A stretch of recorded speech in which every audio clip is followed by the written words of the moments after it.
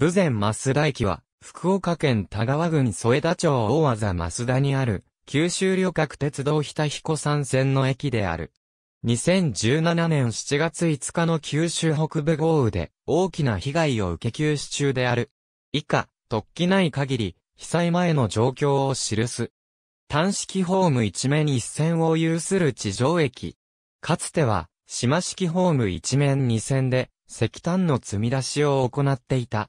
木造駅舎は取り壊されて、ホームと待合所のみがある。無人駅となっている。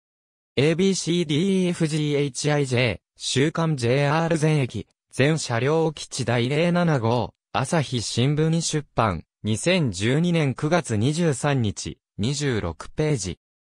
ABCD 市のアキラ、停車場変遷大辞典、国鉄、JR 編に JTB、1998年、766ページ。ISBN 978から4から5330298006。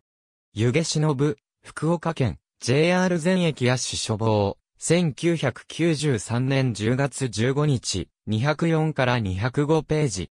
ISBN 47億5120万5293。日本国有鉄道工事第102号。関方。通報日田彦山線部前増田駅他二駅の駅員無配置について、鉄道広報日本国有鉄道総裁室文書化、1971年3月15日、2面。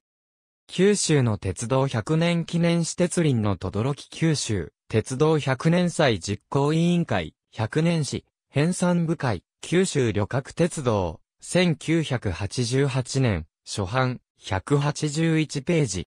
ありがとうございます。